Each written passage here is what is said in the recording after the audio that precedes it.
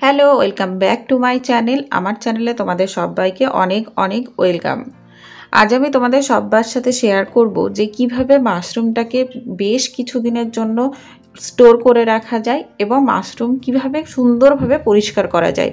পরিষ্কার করার আমি তিনটে প্রসেস দেখাবো। তোমাদের ইচ্ছে মতো তোমরা সেই প্রসেসটা ফলো করতে পারো। যদি ভালো ভালো লাগে বা যদি ভালো মনে হয়, পছন্দ হয়, তাহলে প্লিজ আমার ভিডিওটিকে লাইক করো চ্যানেলটিকে সাবস্ক্রাইব করো।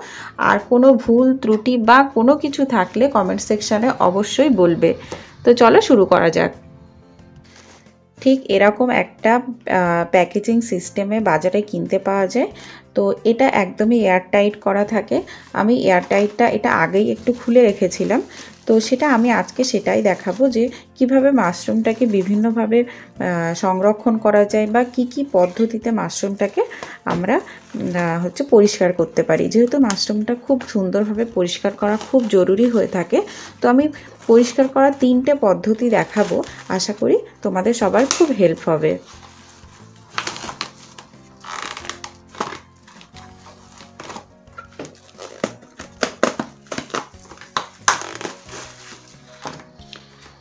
ঠিক এই রকমভাবে মাশরুমগুলো থাকে।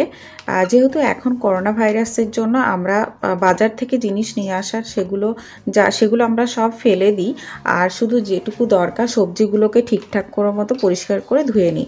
তো আমি প্রথমেই দেখাবো যে এগুলোকে কীভাবে বেশি দিনের জন্য খুব ভালোভাবে সংরক্ষণ করে রাখা যায়। প্রথমে আমি এরকম একটা বক্স নিয়েছি।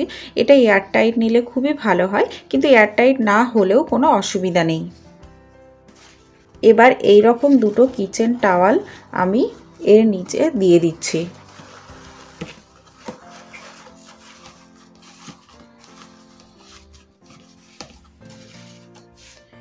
এবার মাশরুমগুলোকে আমি এক এক করে এর মধ্যে রেখে দিচ্ছি।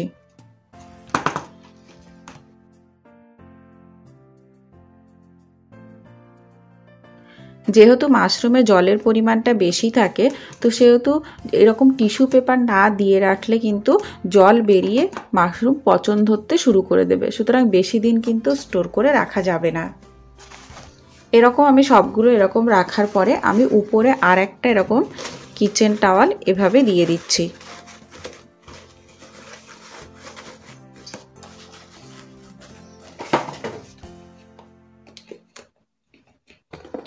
এইভাবে ঠিক এভাবেই আমি ফ্রিজের মধ্যে রেখে দেব।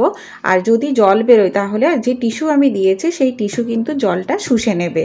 যদি মনে হয় যে অনেক দিনের জন্য সংরক্ষণ করব, তাহলে মাঝে মাঝে এই টিস্যু পেপার চেঞ্জ করে দিয়ে, নতুন টিস্যু পেপার দিলে, তাহলে কিন্তু অনেক দিন মাশরুমটাকে স্টোর করে রাখা যাবে। ওকে, এবার আমি দেখাই কীভাবে মাশরুম ক্লিন করতে হবে। এখানে আমি একটা বাটিতে ময়দা নিয়েছি, আর এই মাশরুমটা আমি এটা দিয়ে ক্লিন করব। মাশরুম কিন্তু যতটা সম্ভব শুকনো কিছু দিয়ে, শুকনো কিচেন টাওয়াল বা শুকনো অন্য কোনো টিস্যু দিয়ে ক্লিন করাটাই বেটার এখানে আমি ময়দা ব্যবহার করছি, ময়দা ব্যবহার করাটাই বেস্ট আমি কখনো আটা দিয়ে করিনি ব্যবহার, তো সুতরাং আটা দিয়ে করলে কি হবে আমি সেটা বলতে পারব না। যদি তোমরা আমার এই প্রসেসটা ফলো করো, তাহলে অবশ্যই ময়দা দিয়ে ক্লিন করার চেষ্টা করো। এরপরে আমি জল দিয়ে ক্লিন করার প্রসেসটাও দেখাবো, কিন্তু সেটা কীরকম জল, কি, কীভাবে কি করতে হবে সেটাও আমি নেক্সট সেকেন্ড প্রসেসে দেখাচ্ছি। ময়দা দিয়ে এটা ঘষার পরে উপরে যে কালো কালোগুলো ছিল সেগুলো কিন্তু বেরিয়ে গেছে। এই যে অনেকটা পরিষ্কার হয়ে গেছে, কিন্তু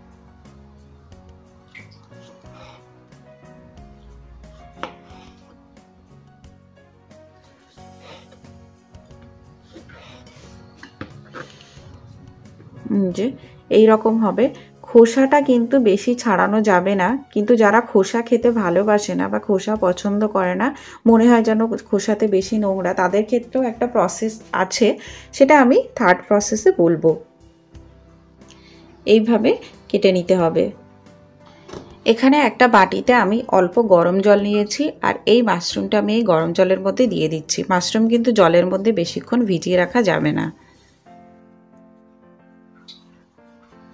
এরকমভাবে ঘষে ঘষে এটা পরিষ্কার করতে হবে। একটুখানি এ হলেই দেখা যাবে যে এর উপরে যে কালো কালো যে নোংরাগুলো থাকে সেগুলো কিন্তু আস্তে আস্তে এই যে আমার হাতে উঠে আসছে।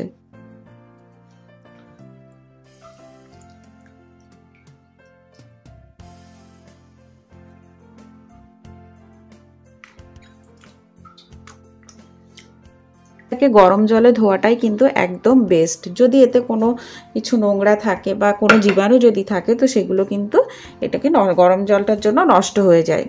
এবার আমি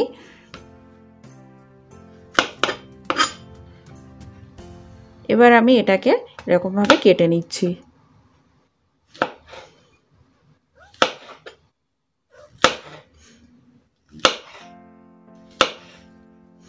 এটা একদম ইজি প্রসেস শুধু গরম জলটা ব্যবহার করতে হবে। ঠিক এইভাবে। এইভাবে মাশরুমটাকে পরিষ্কার করে কেটে নেওয়া হবে। এটা একটা প্রসেস আমি দেখালাম। নেক্সট আমি দেখাচ্ছি যেটা। থার্ড ক্লিনিং প্রসেসটা আমি তাদের জন্য বলছি, যারা মাশরুমটাকে মনে করে একটু নোংরা বা ভালো করে পরিষ্কার করা যায় না বা খেতে একটু গা ঘিন ঘিন করে, তো তাদের জন্য এই প্রসেসটা শুধুমাত্র তাদের জন্য। তো প্রথমে আমি মাশরুমটার পিলটা কিন্তু অফ করা যায় মানে খোসাটা ছাড়িয়ে নেওয়া যায়। ঠিক এইভাবে আলতো করে ধরে এইভাবে করলেই কিন্তু মাশরুমের খোসাটা ছেড়ে যাবে।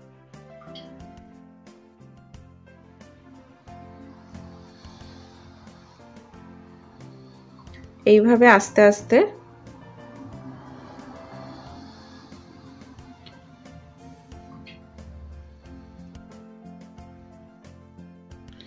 এইভাবে করলেই মাশরুমের সমস্ত খোসাগুলো একদম সুন্দরভাবে উঠে আসবে, একদম পরিষ্কার হয়ে যাবে।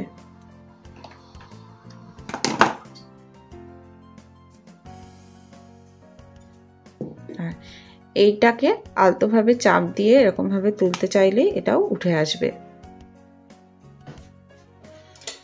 এবার যারা এইটাকে পছন্দ করে না, এই যে কালো কালোগুলো আছে, একটা ছোট্ট এরকম ছোট্ট এরকম স্পুন নিয়ে একটুভাবে আলতোভাবে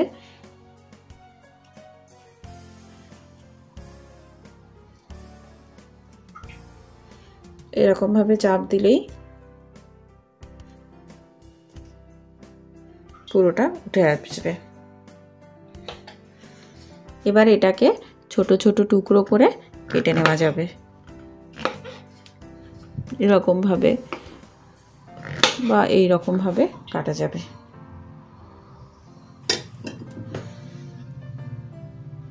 এইটার খোসাটাও কিন্তু হাত দিয়ে জাস্ট একটুখানি টানলেই এখানে যা এগুলো আছে সেগুলোও উঠে আসবে।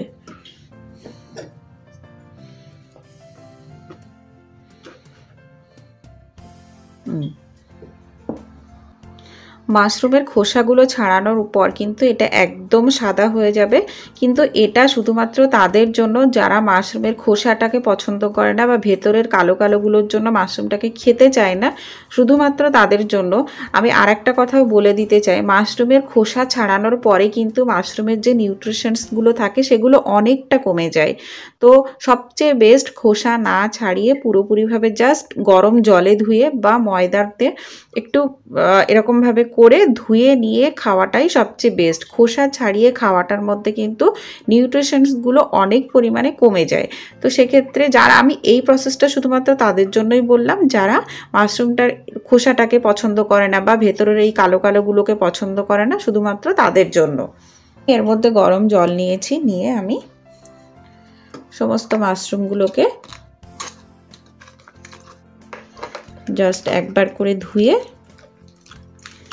এরকমভাবে নাড়িয়ে, যেহেতু আমি আগে খুব ভালো করে ক্লিন করে নিয়েছি, তো সেই জন্য বেশিক্ষণ জলে ধোয়া আমার অতটা প্রয়োজন নেই। তো আমি এভাবে করে এটার মধ্যে আমি রেখে দিচ্ছি। এবার এটা আমার রান্না করার জন্য রেডি হয়ে গেছে।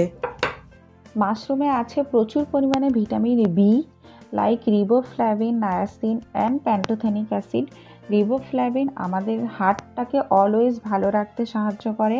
নায়াসিন আমাদের ডাইজেস্টিভ সিস্টেমকে ভালো রাখতে সাহায্য করে এবং আমাদের স্কিনটাকে অলওয়েজ হেলদি রাখতে সাহায্য করে।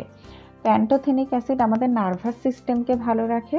তো মাশরুমে আছে প্রচুর পরিমাণে ভিটামিন বি তো মাশরুমের বিভিন্ন বিভিন্ন রেসিপি ট্রাই করুন। যারা ভেজ খায় তাদের জন্য তো মাশরুম খুবই ভালো একটা অপশান তো মাশরুমের বিভিন্ন রেসিপি ট্রাই করুন। ভালো থাকুন, সুস্থ থাকুন।